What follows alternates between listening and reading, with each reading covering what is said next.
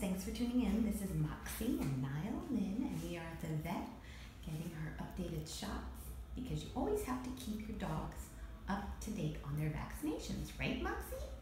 Yeah. So make sure you guys do that. Thanks for tuning in. This is Moxy and Nyle Lynn.